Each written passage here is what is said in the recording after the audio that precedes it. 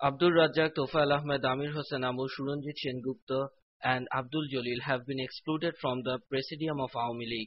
This decision has created curiosity among the people they said that the change is positive নতুন কমিটিতে যারা নতুন সদস্যদেরকে বা যাদেরকে সুযোগ দেওয়া হয়েছে এটা আমার বিবেচনায় ঠিকই হয়েছে। যারা বাদ পড়েছেন তারা ক্ষমতার বাইরে থেকেও তো দেশকে বিভিন্নভাবে সহায়তা করতে পারেন পার্টিকে সহায়তা করতে পারেন জনগণের জন্য বিভিন্ন ধরনের সেবা বা পরামর্শ দিতে পারেন। প্রধানমন্ত্রী শেখ হাসিনা উনি অঙ্গীকার করেছিলেন পরিবর্তনের এবং সেভাবে উনি কাজও করছেন বিভিন্ন ক্ষেত্রে।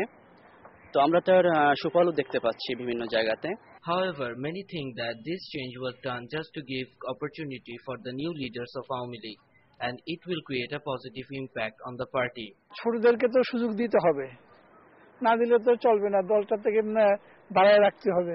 আমি বলতে চাই যে বড়দেরকে জায়গা ছাড়তে হবে এবং নবীনরা আসবে। নতুনদের কাজ কিছু করতে দেওয়া উচিত এবং তারুণ্যের যে একটা